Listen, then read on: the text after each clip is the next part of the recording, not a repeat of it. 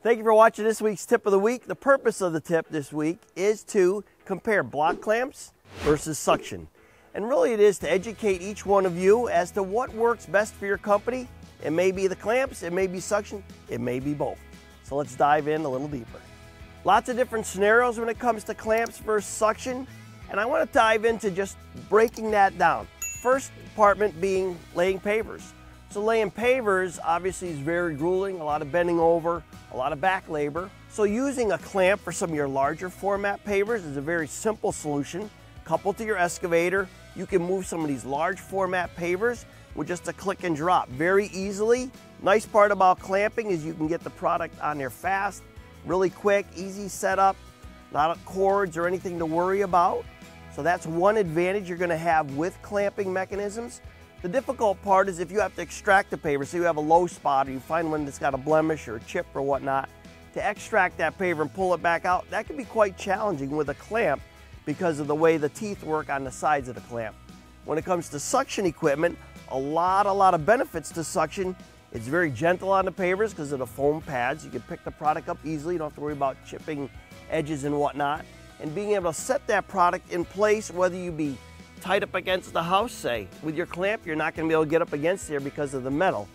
With our suction equipment and our pads being very streamlined, get tight to the uh, building. You can also extract the paver very easily. Say you have a product you wanna replace. So using the vacuum equipment, very, very easy to do so. Whether it be just a simple handheld unit or whether it be one of our vacuum equipments that coupled to an excavator and being able to put product in there. So Something to weigh out. Expense-wise, you're talking probably a little less expensive with a clamping option as opposed to vacuum, but vacuum definitely has its advantages and definitely takes it to the next level. Next category I want to talk about is retaining walls. Retaining walls can be rather challenging when it comes to vacuum. Most of the products have a core, some have a channel on top, so it's hard to get a vacuum seal on that product to be able to pick it. However, you do have some simple products, say Brussels there's also the Rosetta product, some of those large irregular stones, and we did. We custom made a pad strictly for that product um, to be able to get it from pallet to pavement, being able to use vacuum equipment. And it is, it's very, very easy for that. Works great because you have the irregularity of the products and you don't end up with marring the surface with the pads and whatnot. However, I am a huge uh, advocate of clamps when it comes to retaining walls. You can grab product very fast, very efficient. You can grab multiple units at a time. And if you get good on an excavator, you really can get the clamps on the products, on the pallet, sling them over onto the wall, and you're alleviating a tremendous amount of labor of picking these heavy products, some of them 80, 90, 100, over 100 pounds, getting the product from pallet to pavement onto that wall.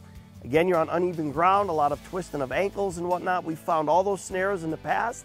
So being able to use a clamp to get products on the wall, huge advocate. We also have our BL1000, our hydraulic 1000 which that's a clamp that can rotate, does your clamping. You want to talk about fast and efficient? That's the clamp of choice. Steps is the next topic of interest. This is a great category that I would recommend this vacuum equipment whenever possible. Many times you're setting those steps up against a home or up against a wall or whatnot, so it makes it really, really convenient when you're using your vacuum equipment to be able to suction down to that product, move it into place. The one thing with suction you always want to watch for if you're using a corded unit you want to make sure that's plugged in well. Even sometimes we'll knot the um, hoses or the cords together. If you're using um, the battery operated unit, those batteries do have warnings on them, so you'll have a warning bell that will go off before the uh, battery would die. So very convenient with that. There are times when the product may be very irregular, and that would be a case where you'd want to use your uh, clamps. One thing with the clamps too, you can get sometimes a little bit of marring if you have a product that's really smooth or a very light colored product. And that would be a case of just taking even a little piece of foam or a piece of plywood, putting it between that if you realize you're getting some marring. When it comes to natural stone, my mind automatically goes to vacuum equipment. Vacuum equipment is ultimate when it comes to the natural product because you can pick probably 99% of the product you're going to install. It's awesome because if, say you got that large format products, irregular flag, you can lay these sheets six, seven, eight feet in diameter, being able to pick them with vacuum equipment, set them nice and gentle where you need to be. You can overlay and then mark, pull it back out, reset it very easily.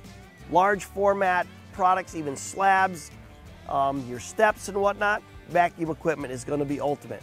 The only time you're gonna maybe have a snare if you got a real irregular top, and then you're gonna wanna use a clamp, but also sometimes with a clamp, if you have the irregular faces on it, it can be really hard to find that sweet spot to be able to get your clamp hooked on there and be able to pick that product up. So just keep that in mind. And again, I mentioned earlier, another trick or tip is a little piece of foam, rubber, or even uh, a piece of plywood if you're worried about marring that surface. So when it comes to boulders, vacuum equipment is not gonna be your choice. We're gonna be limited and we're gonna use a block clamp. Our 980 we created with the boulder grab, which is a great attachment to hook to the 980. And that product, you can simply grab your boulders, and this makes it really nice for rotating, being able to set in specific spots, be able to lay that in just that right position. It also is great for some of your large blocks that you're setting on retaining walls, some of this natural cut stone or irregular products. You can grab that product easily with the boulder grab, set it on your wall. What a home run. If you want to see the most versatile vacuum equipment that we offer, make sure to click the video on the screen. Thank you for watching this week's Tip of the Week. I hope you found it helpful to be able to determine which you want. It may be both. Thank you for watching this week's Tip of the Week. You can sign up for our Tip of the Week here. You can also watch another one of our videos here. Please subscribe to our YouTube channel below. Now, if you're located in Canada, you can go and get our products at pavetool.ca. Have a fantastic weekend and look forward to seeing you next week. Thank you.